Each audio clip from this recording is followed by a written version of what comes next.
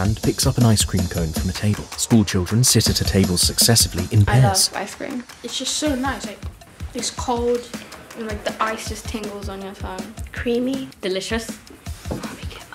A boy inspects an ice cream tub. What is this? This is not ice cream. The children pull out kelp from ice cream tubs. Seaweed, like this brown kelp, has something in it called alginate. Alginate does amazing things to ice cream. It stops it from melting too quickly and gives it its delicious creamy texture.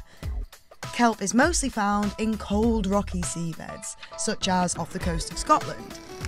It grows incredibly quickly, nearly as long as your arm, in a day Two boys gape in disbelief. That's quick. And forms underwater forests that are home to a whole world of creatures.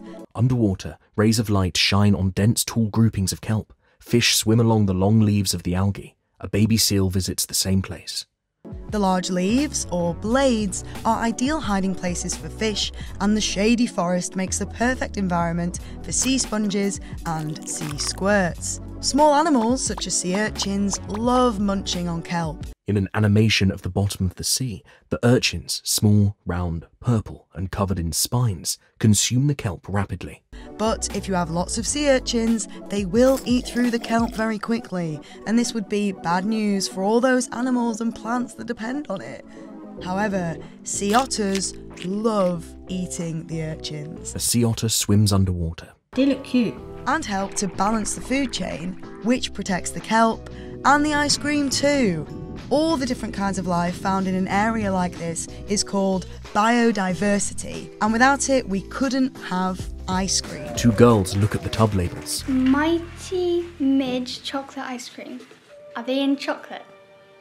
That's very small. I don't even know. Like maybe that. I don't know.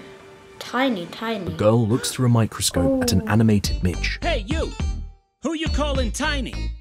Mic check, one, two, one, two.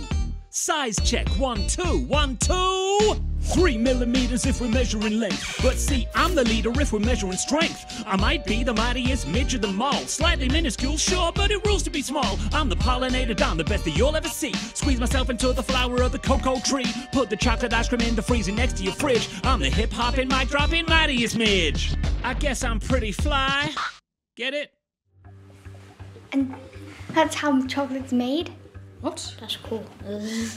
Midges are like pollinating the flowers that get the cocoa beans to make the chocolate. So it, it's helping with the chocolate industry. I like midges now.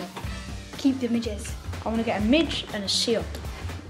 So you could say, because of a huge range of creatures like midges, seaweed, and sea otters, we get to have ice cream.